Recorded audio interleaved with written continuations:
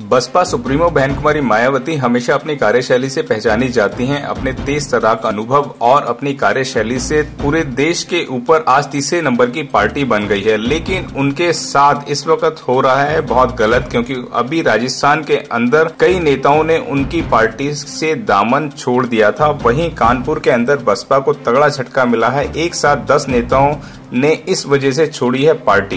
कानपुर के अंदर 10 नेताओं ने छोड़ने से बसपा का कानपुर के अंदर जनाधार हिलता हुआ नज़र आ रहा है। उपचुनाव की तैयारी के बीच बहुजन समाज पार्टी को तगड़ा झटका लगा है। पार्टी से नेताओं के पलियान का सिलसिला थमने का नाम ही नहीं ले रहा है। ताज़ा मामला कानपुर का है, जहाँ बहुजन नायकों के अपमान का आरोप लगाते हुए 10 नेताओं ने पार्टी से इस्तीफा दे दिया। मालूम हो कि उत्तर प्रदेश की विधानसभा उपचुनाव का बिगुल बच चुका है। सभी राजनीतिक पार्टियाँ ने चुनाव को लेकर युद्ध स्तर पर काम करना शुरू कर दिया है। सब लोग अपने वादों पे उतरे जा रहे हैं, निरंतर कार्य करते जा रहे हैं। चाहे वो बीजेपी हो, चाहे वो कांग्रेस हो, निरंतर अपने कार्यशैली पे काम कर रहे हैं। लेकिन इन सबके बीच बहुजन समाज पार्टी से नेताओं के जाने का क्रम शुरू हो गया है। कानपुर में अनुभव जग के समर्थन में कई नेताओं ने इस्तीफा दे दिया है। इसमें कल्याणपुर विधानसभा अंतर्गत आने वाले नाना नानाकाड़ी वार्ड नंबर 26 से सभासद का चुनाव लड़ लड़ चुकी सावित्री कठेरिया और महाराजपुर के विधानसभा क्षेत्र के सफीपुर वार्ड नंबर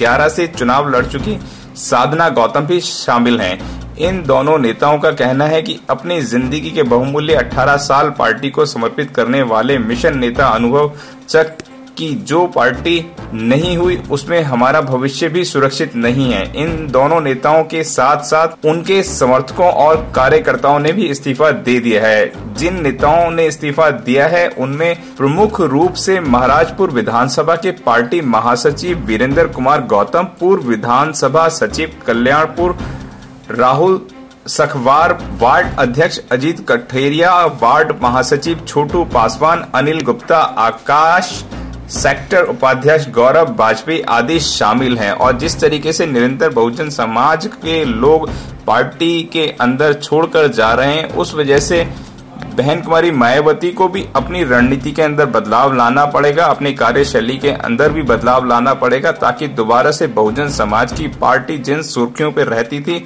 वही रहे और पार्टी का जनाधार फिर दोबारा से बढ़ चढ़कर निखर कर आए।